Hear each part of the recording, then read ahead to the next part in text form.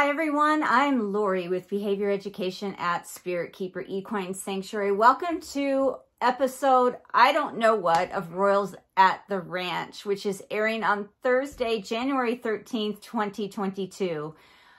I have been doing a weekly episode of Royals at the Ranch since earlier last year in 2021, and I was keeping track of each episode and telling you this is episode number one and number five, etc. And now I don't know what episode we're up to. So if any of the viewers can figure that out, let me know and I'll start announcing that again. In this episode, you're going to get to meet one of our royals at the ranch that you haven't officially met yet. His name is Barclay, named after Reginald Barclay from Star Trek The Next Generation. You're going to get to see just briefly a glimpse of the day that I picked him up. The weather was extremely horrible. We had severe high winds. We had damage all over Colorado Springs and the region. When I was driving to get Barclay, something hit my windshield and cracked it like a piece of wood from a construction site flew into my van windshield.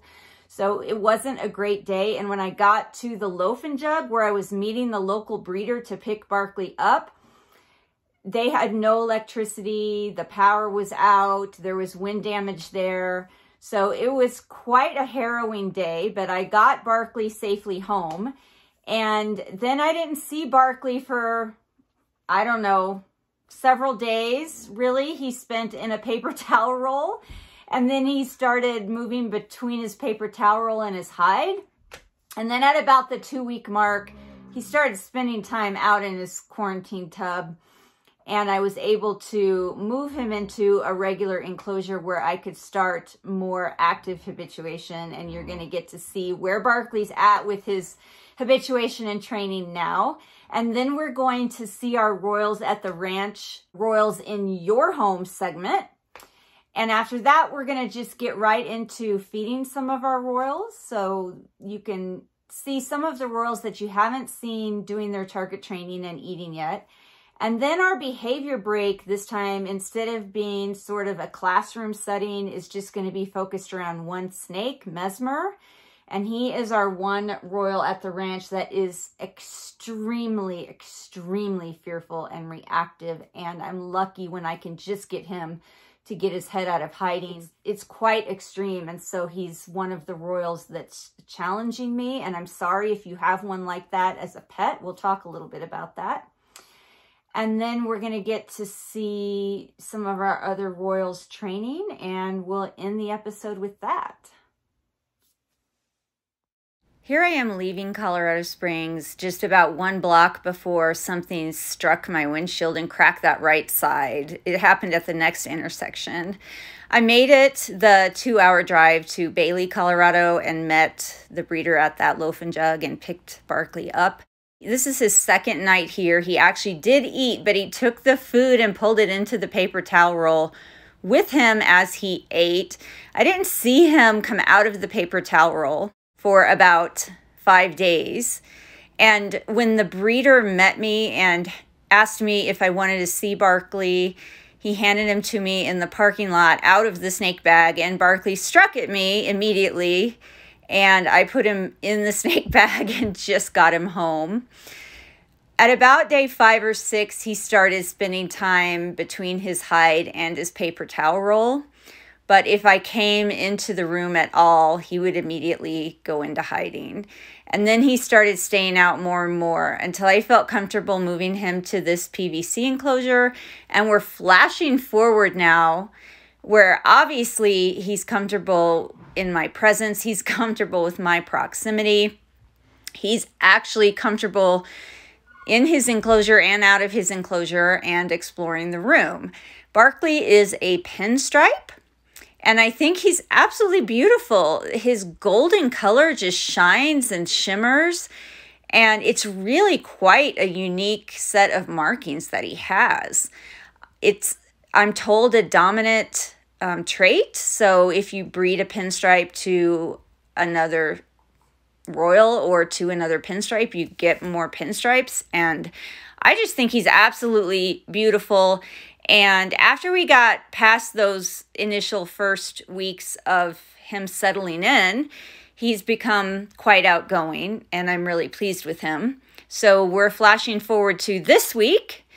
It's our Royals at the Ranch time, and I'm filming on Wednesday a feeding session and target training session with Barclay. And as you can see, he understands what the target means. He came out of his hide when I presented the target, and he's coming out of his enclosure following the target. He also comes out of his enclosure just on his own. Sometimes he comes to the door and just wants out of the enclosure. And I let him out if I'm able when he wants to do that because I try to encourage that confidence and his um, exercise and exploration. So he's doing really well, and you're going to get to see more of him in the future.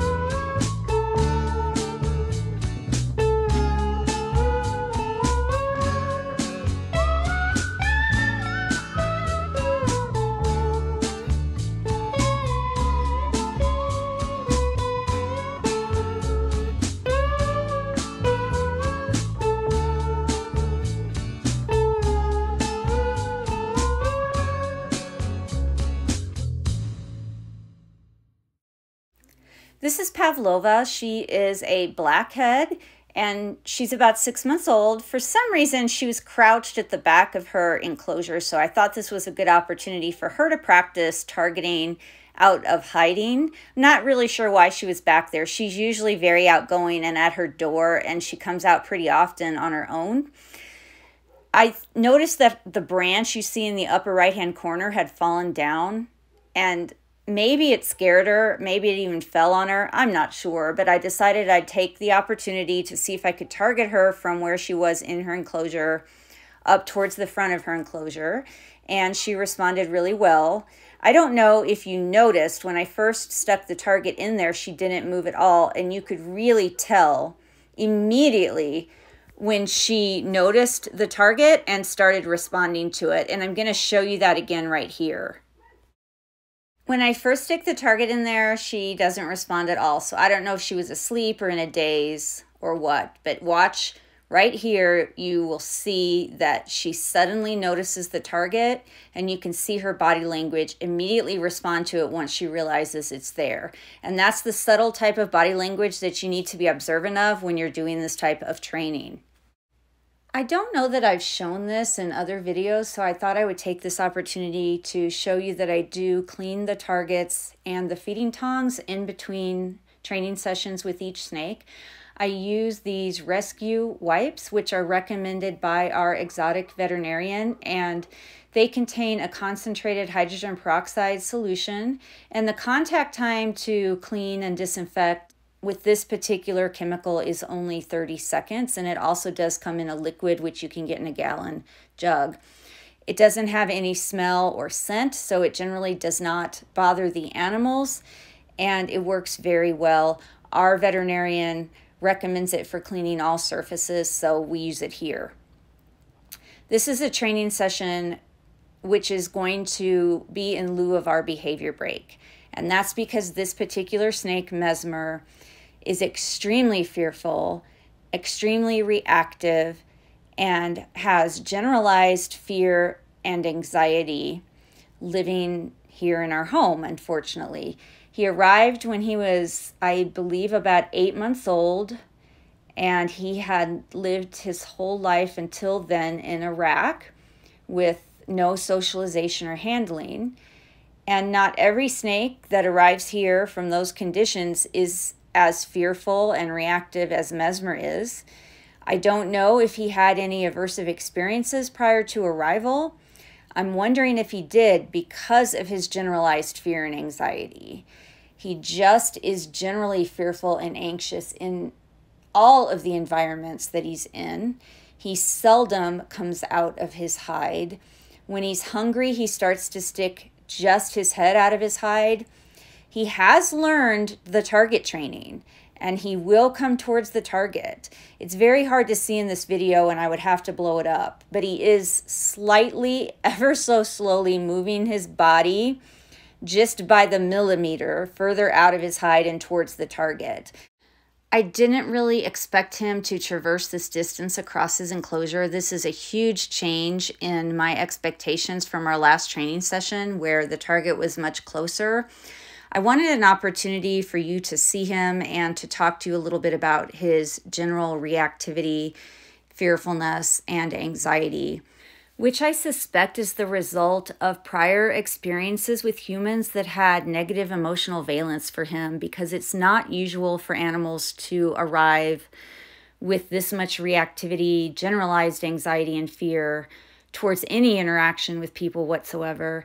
And he's been here 10 months and if you've watched our channel at all, you know how careful we are about handling our snakes and using gradual desensitization and the least intrusive, minimally aversive methods possible. And any slight interaction I've initiated with him has resulted in him striking, um, freezing, stiffening his body, and flying, propelling himself in the opposite direction of where we're interacting. And he has flung himself into his water bowl, flung himself onto the floor.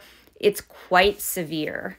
And so, what I'm going to do now is just repeat that last few seconds of that video where I moved the target. And I want you to watch how he does change his orientation when I change the position of the target. So, he absolutely is acknowledging the target and following the target, which is a plus. And so we're going to just keep working with that.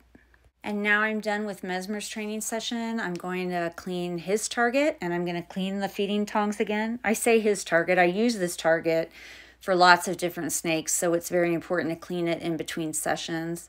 I just wanted to show you this a second time to reiterate that I do clean the equipment in between snakes and I don't scent the targets, but you certainly could scent the targets with the scent of prey or something else. I don't. This is Phoenix. She is the snake that we recently got from Canova Reptiles. I was asked how she's doing, and as you can see here, she's doing fantastic. This is just her third target training session with us and she definitely orients towards the target and then starts looking for that reinforcement immediately. So she is doing really well. This is Romana. She lives right above Phoenix and she seemed kind of lazy to me during this training session. She was comfy up there on that net and she really didn't seem like she wanted to come down, and that's fine. She's still oriented towards the target, so she gets reinforced for that. She's normally a lot more outgoing than this, and she comes out of her enclosure a lot and uses the exercise space adjacent to it. She might have just been tired tonight. This is Kenobi, and this illustrates the point that I've made before that you really need to give the snakes time to perceive the target and think about what's happening and remember what they're supposed to do in order to earn the reinforcement he was partially up on this ledge and partially hanging down in this foliage.